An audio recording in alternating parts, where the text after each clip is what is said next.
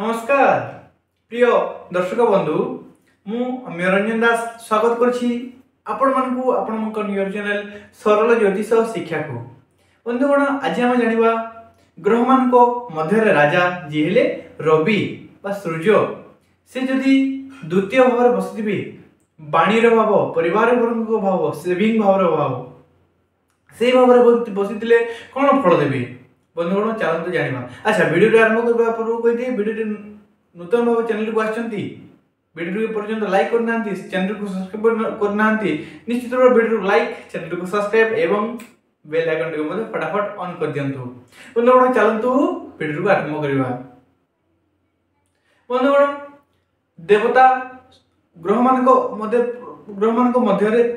राजा हेले रवि किरण किरण द्वारा प्रत्येक ग्रह प्रवाहित ଆଚ୍ଛା ରବିଙ୍କର ମୁଖ୍ୟ ଜିନିଷ କ'ଣ ହେଲା ଆତ୍ମବିଶ୍ୱାସ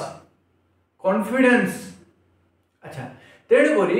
ଯଦି ଦ୍ୱିତୀୟ ଭାବରେ ରବି ବସିଛନ୍ତି ବାଣୀର ଭାବ ବ୍ୟକ୍ତିର ବାଣୀ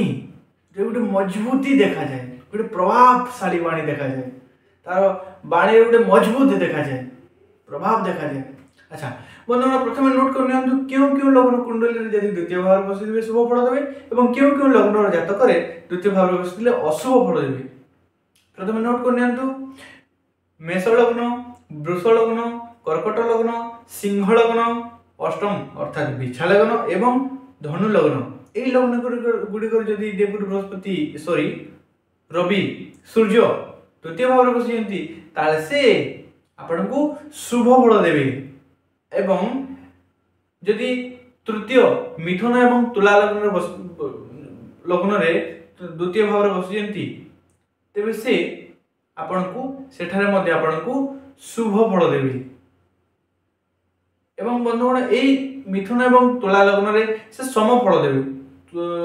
ପଜିଟିଭ୍ରୁ କହିବନି ସମଫଳ ଅର୍ଥାତ୍ ମାଧ୍ୟମିକ ଫଳ ଦେବେ ଆପଣଙ୍କୁ ଏବଂ অন্যান্য লগ্ন যেটি অশুভ ফল দেবে কন্যা মকর কুম্ভ ও মীন এই চারোটি লগ্ন সে অশুভ ফল দেবে দ্বিতীয় ভাবে বসিলে আচ্ছা শুভ ফল কোণ অশুভ ফল কোণ যদি শুভ কি বসিছেন দেবে ব্যক্তির বাণী গোটে প্রভাবশালী ଉର୍ଜା ଦେଖାଯିବ ତାର ବାଣୀ ଦ୍ୱାରା ନହେଲା କାମ ମଧ୍ୟ ହେଇଯିବ ଏତିକି ପ୍ରଭାବ ତାର ବାଣୀରେ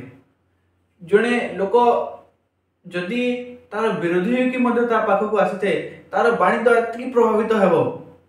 ସେ ପଜିଟିଭ୍ ହୋଇକି ଯିବ ଏବଂ ବନ୍ଧୁଗଣ ଏଇ ଏମାନଙ୍କୁ ଦେଖାଯାଇଥାଏ କି ଏମାନେ ଅନୁଶାସନ ପ୍ରିୟ ଅର୍ଥାତ୍ ସମସ୍ତଙ୍କୁ ନିଜର ଅନୁଶାସନ ଦ୍ୱାରା ରଖିବା ପାଇଁ ଚେଷ୍ଟା କରନ୍ତି ଏମାନେ ଚାହାନ୍ତି ତାଙ୍କ ବାଣୀ ତାଙ୍କ କଥା ସମସ୍ତେ ଶୁଣନ୍ତୁ ସମସ୍ତେ ମାନନ୍ତୁ ଏହା ଏମାନଙ୍କ ଭିତରେ ଦେଖାଯାଏ ଏଇ ଜିନିଷ ଏମାନଙ୍କ ଭିତରେ ଥାଏ ଏମାନେ ଏହା ଚାହାନ୍ତି କି ତାଙ୍କ କଥା ସମସ୍ତେ ମାନନ୍ତୁ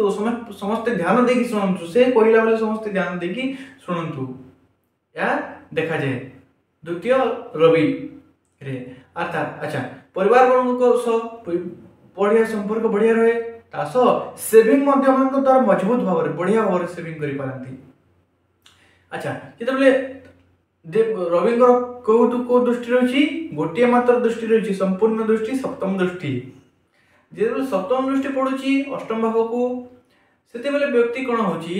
যেতে তার জীবনে যেতে বাধা বিঘ্ন আসুচি সেই বাধা বিঘ্নକୁ ପାର କରିକି ଚିରିକି ଆଗକୁ ବଢ଼ୁଛି ଏବଂ ସଫଳତା ହାସିଲ କରୁଛି ଯଦି କୌଣସି କ୍ଷେତ୍ରରେ ରିସର୍ଚ୍ଚ କରୁଛି ଗବେଷଣା ରହିଛି ସେଥିରେ ମଧ୍ୟ ସେ ସଫଳତା ହାସିଲ କରୁଛି ଏବଂ ଦ୍ୱିତୀୟ ରହିଥିଲେ ବନ୍ଧୁଗଣ ବ୍ୟକ୍ତି ଭିତରେ ଗୋଟିଏ ଅନ୍ୟ ପ୍ରକାର ଉର୍ଜା ଦେଖାଯାଏ ସକାରାତ୍ମକ ଉର୍ଜା ଯଦି ରବି ପଜିଟିଭ୍ ହୋଇକି ଅଛନ୍ତି ସକାରାତ୍ମକ ଉର୍ଜା ଦେଖାଯାଏ ଗୋଟିଏ ଅଲଗା ପ୍ରକାର ଉର୍ଜା ଆକ୍ଟିଭ୍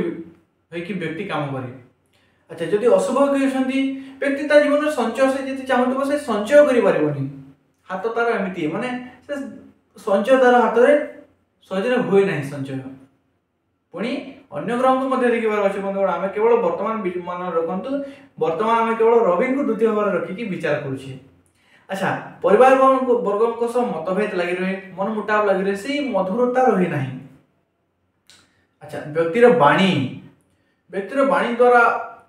ହେଲା କାର୍ଯ୍ୟ ଗୁଡ଼ାକ ବିଗିଡ଼ି ଯେତେବେଳେ ଅଶୁଭ ହୋଇକି ରବି ଦ୍ୱିତୀୟ ଭାବରେ ବସିଥାନ୍ତି ହେଲା କାର୍ଯ୍ୟ ଦ୍ୱାରା ତାର ବାଣୀର ଉଗ୍ରା ଉଗ୍ରତାରେ ସେ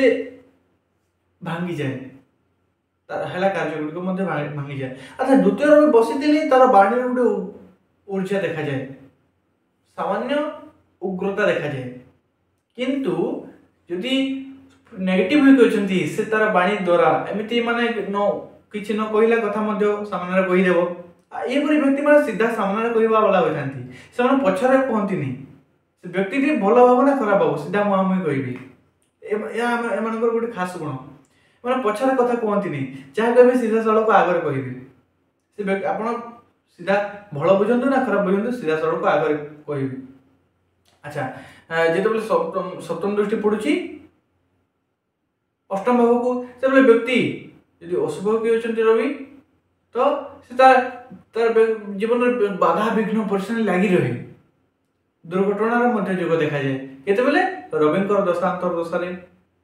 ଆଚ୍ଛା ବନ୍ଧୁଗଣ ଏହା ଥିଲା ରବିଙ୍କ ଫଳ ବିଷୟରେ ଯଦି ଅଶୁଭ ଅଛନ୍ତି କ'ଣ ଏଇ କ୍ଷେତ୍ରରେ ଯଦି ଅଶୁଭ ହୋଇକି ଅଛନ୍ତି ନିଶ୍ଚିତ ଭାବେ ତାଙ୍କ ରତ୍ନ ଧାରଣ କରନ୍ତୁ ନାହିଁ ଯଦି ଅଶୁଭ ହୋଇକି ଅଛନ୍ତି କ'ଣ କରିବେ ତାଙ୍କର ବୀଜ ମନ୍ତ୍ର ଅଛି ଓମ୍ ଘୃଣୀ ହିଁ ସୂର୍ଯ୍ୟାୟ ନମଃ ଏଇ ମନ୍ତ୍ରକୁ ଗୋଟିଏ ପ୍ରତ୍ୟେକ ଦିନ ଗୋଟିଏ ମାଳ ଜପ କରନ୍ତୁ ସୂର୍ଯ୍ୟଙ୍କୁ ଅର୍ଘ୍ୟ ଦିଅନ୍ତୁ ନିଶ୍ଚିତ ରୂପେ ତାଙ୍କର ଖରାପ ଫଳରେ ଶାନ୍ତ ଦେଖାଯିବ ଏବଂ ସୁଫଳ ପ୍ରାପ୍ୟ ହେବ ଆଉ ବନ୍ଧୁଗଣ ଆଶା କରୁଛି ଭିଡ଼ିଓଟି ବୁଝିପାରିଲି ଯଦି ବୁଝିପାରିଲି ଭିଡ଼ିଓଟି ଲାଇକ୍ କରନ୍ତୁ କମେଣ୍ଟ ବକ୍ସରେ କମେଣ୍ଟ କରନ୍ତୁ ୟେସ୍ ଆମେ ବୁଝିପାରୁଛୁ ବନ୍ଧୁଗଣ ରହିଲି ପୁଣି ଦେଖାବା ନେକ୍ସଟ ଭିଡ଼ିଓରେ ସେ ପର୍ଯ୍ୟନ୍ତ ବିଦାୟ ଦିଅନ୍ତୁ ଧନ୍ୟବାଦ ରାଧେ ରାଧେ